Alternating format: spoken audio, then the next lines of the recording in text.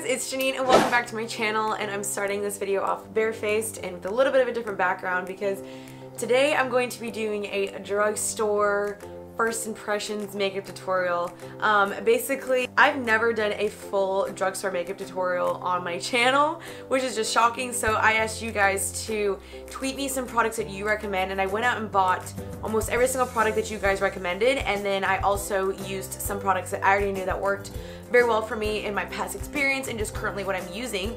So I hope you guys enjoy this video. It's a little different. This is not really what I do on my channel, but I was just inspired by like Tati and, you know, wanted to try something new. Um, so yeah, all these products are pretty much first impression. I haven't really used any of these. They're all still in their package. So I am going to be doing, you know, my first impression on them. Hopefully this look turns out good. Fingers crossed. And let's just get right into it. Starting off with the face, I'm going to take the Maybelline Master Prime. This is the Blur and Smooth 100, and I've used this before, so I do know that this is good, but I haven't used this in a while, honestly.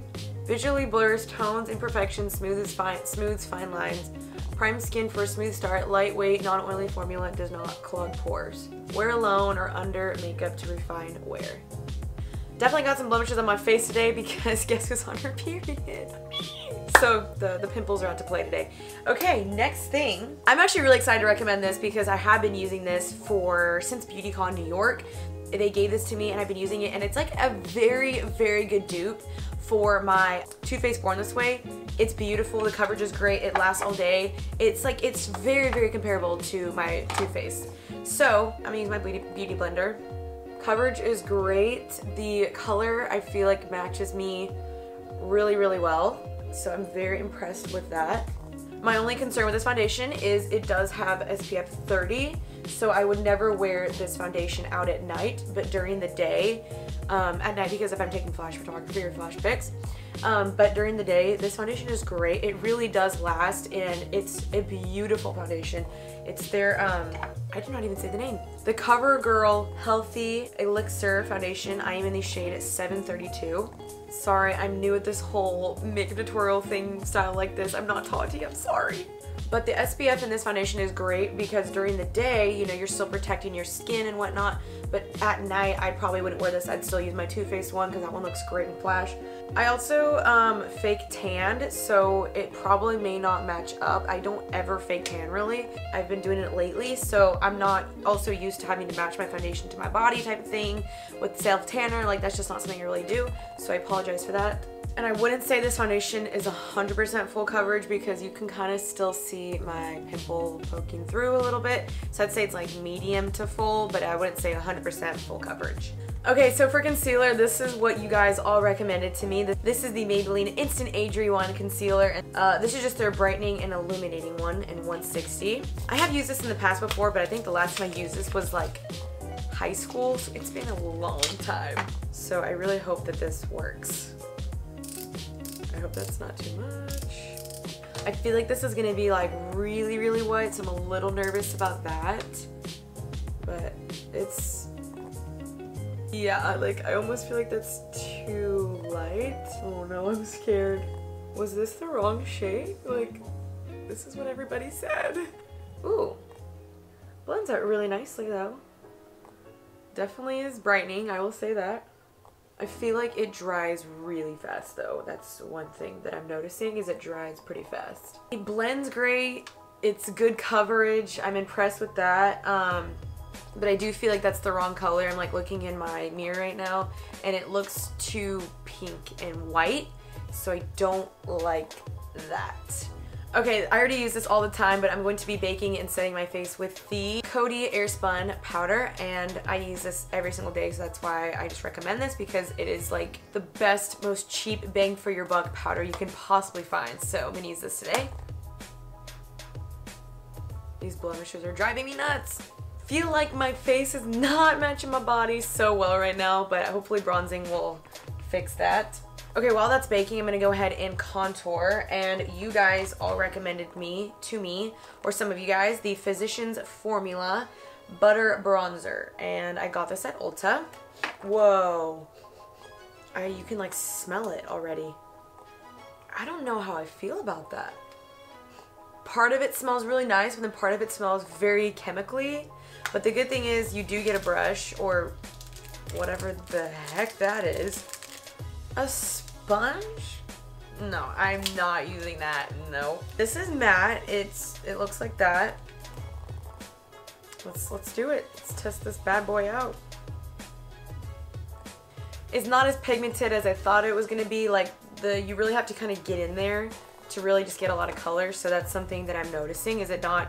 If you just tap it in there, it's not just gonna like get on your brush instantly like my Benefit Hoola bronzer would.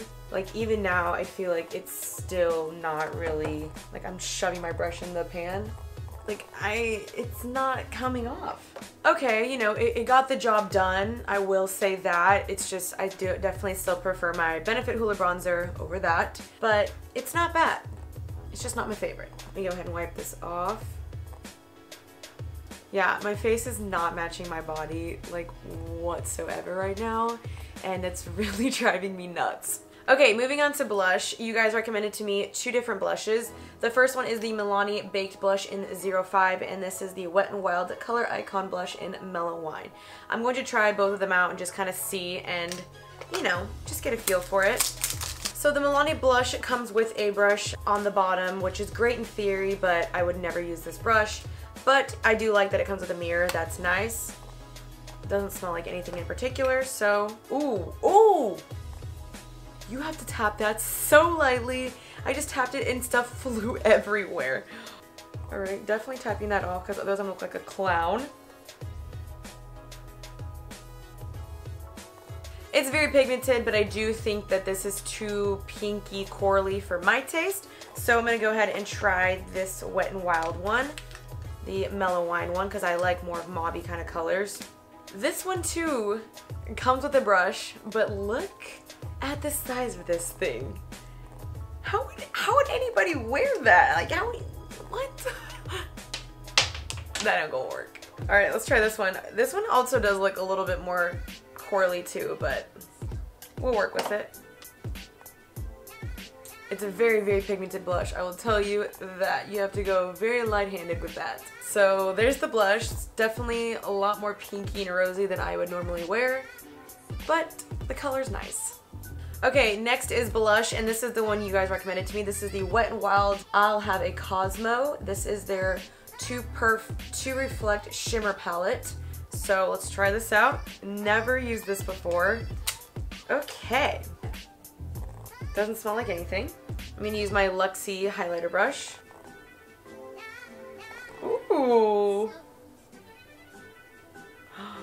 Wow.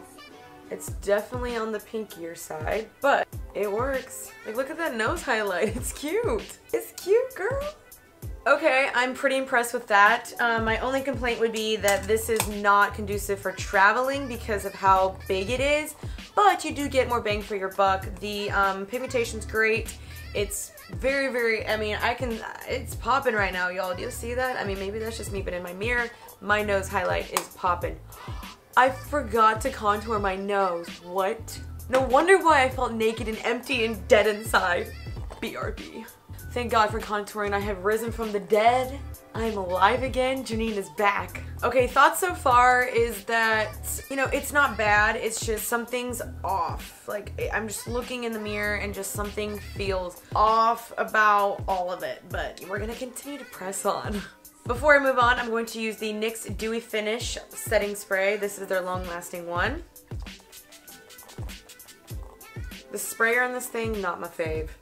Okay, so for brows, you guys all recommended to me the NYX Micro Brow Pencil, and I got the shade Chocolate. Hopefully this matches me. I'm wondering if it's um, comparable to Anastasia.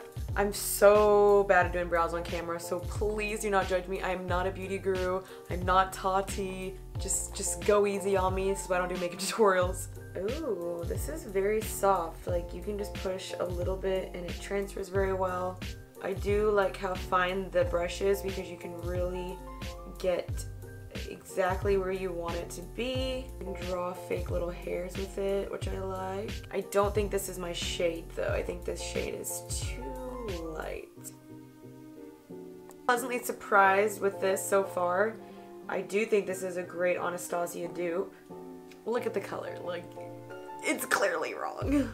I didn't know. It looked like it was gonna be in my right shade, but it's definitely not. But if I got my right shade, then this, I'm, I'm very, very impressed with this.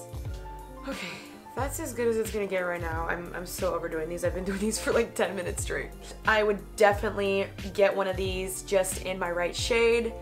This is bomb and it's way cheaper than Anastasia. Okay, so to set the brows and kind of make them a little bit more matching to my hair color, I'm taking the Rimmel London Brow This Way Brow Styling Gel in dark brown. Okay, I think that was good. It kind of helped to darken up the brows a little bit. I do recommend this product. I've been using it for the past two weeks and it's pretty good. Okay, moving on to eyes, which is always scary. I'm not like this Nikkie tutorial, so I don't know what eye look I'm gonna do just yet. But the only thing that I forgot to get in this makeup tutorial is eye primer from the drugstore. I know that Maybelline has a good one, but I completely forgot to get one. So I'm just gonna use a Smashbox one today. This is their 24 hour one, and then we'll proceed on to eyeshadow. Okay, so for eyeshadow, this is the palette I got right here. This is the NYX Ultimate Shadow Palette, Palette Ombre, and this is their Warm Neutrals palette, and it comes with about it comes with 16 shades in it. It's definitely a warm, nice, neutral little palette. So let's see how this thing performs. I have no idea what look I'm gonna do, so we're about to figure this out together. Okay, so I'm gonna start off, I guess, trying to do a transition shade. I'm not really seeing any very good lightish neutral brown. I mean, the best one is probably this one right here, but even then, that's still pretty light. Or we have this one right here, which I still think is pretty dark. Probably start with, with this one right here and just see how it goes. Okay. Yeah, it's showing up. Pretty good. Could it be better? I think so. Yeah, you really just gotta keep building it. Okay, so for the crease, I'm going to take this shade right here. I'm just gonna go for a red look because that's what I've been using lately. Ooh, that one's pretty. Nice. Very pigmented. Wow, that was great. Y'all see that? That's great. That's popping. Not mad at this palette. This palette's doing wonders right now. I'm very impressed. For the lid, I'm just gonna go with a fun color. I'm gonna go and take this shimmery one right here. I'm gonna try that one and see how that looks. B, I'm predicting this is gonna have some fallout. Hmm, no fallout, but not the, oh, no, wait, I take that back. I was gonna say not the most pigmented. I take that back. NYX, like, dang! I'm gonna take the other side of the brush. I'm gonna take this lighter one and I'm going to put that in the inner corner.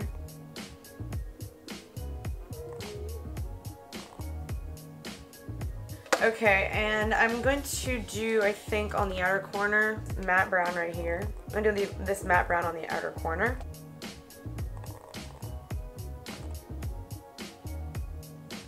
Okay, I think I'm to go ahead and take all those same colors I put up here, put them under the bottom, and just balance it out.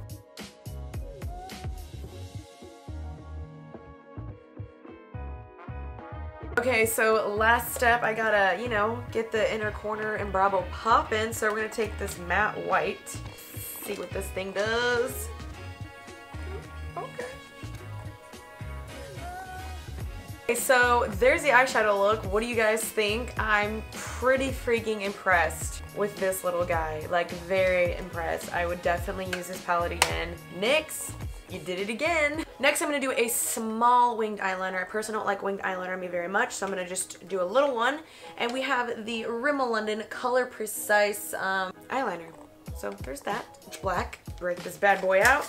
Okay, y'all, winged eyeliner is not my specialty. I never do it, so please don't hate me if I mess this up, because I probably will. Ooh, this is really easy to use. I like that.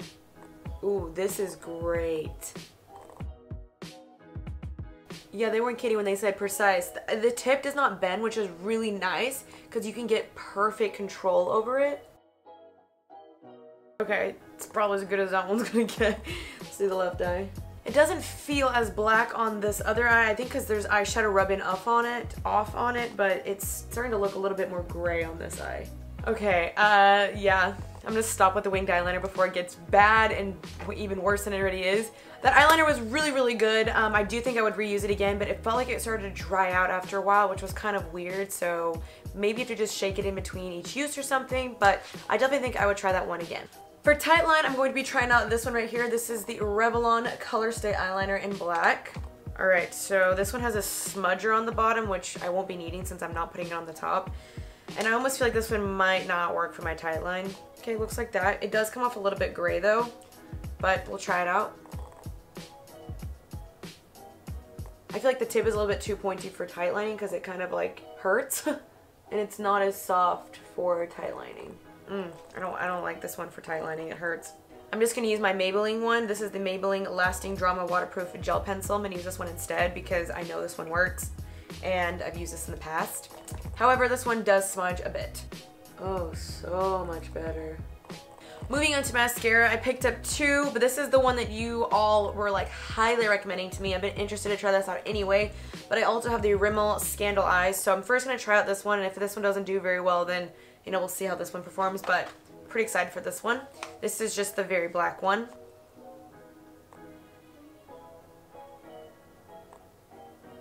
Not bad. What do y'all think? Not bad. It's not as thickening as I would like it to be. It does give good separation though, um, and good length, but it's not, I feel like it's not as thickening. But I also just really like really big, dark, full lashes. But this could be good for like more simpler everyday eye, but maybe not necessarily for this look. You really gotta, you gotta build this one up, I guess. Oops, starting to get clumpy on me. What do y'all think? Not my fave. I'm gonna try the Scandaleyes, see what happens. Bringing it back up, we're taking the Rimmel Scandaleyes. That brush is massive. Holy moly, I was not expecting that. This mascara is so dry. This is definitely not a wet formula, I'll tell you that. Maybelline Colossal one. And I, I don't think I'm gonna do false lashes for this look. There's the eyes. What do y'all think? Mascaras, not impressed with very much. Okay, and last but not least, we have lips, and what you guys recommended to me were the NYX Lingerie ones. I got the shade Push Up and the shade Dusk to Dawn. So these are from NYX. Alright, I'm going to swatch both of these and just see which one I think is going to look best with this look. Ooh, that one's pretty. That one is more of a um, mauve kind of shade. There's the other one. I feel like they don't look like that in this in the bottle, so I'm a little like, eh.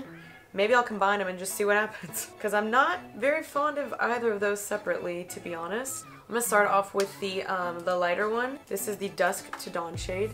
What? I did not think it was gonna be that light. Uh-uh. Okay, I'm not crazy, right? It does not look that bright in the bottle. I'm not crazy, right? I'm not really fond of this applicator. There's something about it that just doesn't, I, I just don't like. This is um very streaky. I'm gonna try and apply this on top now and just kind of see what happens. I might totally screw this up by mixing it. I have no idea. Ugh, mixing it feels weird on my lips. Color-wise, I think mixing it was the way to go because I got a color that I like. Um, individually, I don't really like those colors, but I do like them mixed, so that's not bad. I, I like this color now that I've mixed it. I really, really like it. It's like the most perfect nude, I feel like, for my skin color. I'm gonna set the face one last time with the, um, with the NYX spray. Okay guys, so this is the final look that I did with all drugstore makeup products, I mean besides one, but I am overall extremely pleased. My lashes, now I do think my lashes look pretty good right now since I curled them, but I wouldn't say they're my absolute favorite. I don't know if I would reuse those mascaras to be honest. The eyeshadow palette was phenomenal. I will 100% use the eyeshadow palette again. The eyeliner, when I curled my lashes, the eyeliner's totally gone. So there's that yeah, it, already like flaked off as an un and is uneven, so that's kind of annoying, and it's like smudged right here already. Um, the lipstick, I like the lipstick. I just had to mix two to get the shade that I want, but I'm sure I could go back and find a shade that's perfect and that I don't have to mix with. Highlighter I think is absolutely beautiful. The blush is beautiful. The bronzer is great, but I don't feel like it's as pigmented as I want it to be, but overall I am very impressed. I definitely feel like I should give drugstore makeup more credibility and try it out more because I mainly only use high-end but y'all, I'm I'm pretty impressed. What do you guys think of this look? I'm very happy with how it turned out. I think it's beautiful. Um, I don't know. What do y'all think? It looks identical to a look that I do with high-end products, but this is the drugstore version and I think it turned out great. So if you guys enjoyed this video and enjoyed to see me, you know, doing a first impression, all that stuff, because I don't really do these videos very often since I'm not really like a beauty guru, but I thought this was so fun to do. So if you guys want more videos like this, of course let me know in the comments down below and you can check out all my social media and my vlog channel down below as well. Jeanine TV and Jeanine Amapola are my social media and vlog channel. And I'll see you guys very soon. Thank you so much for watching and peace out Girl Scout. Bye guys.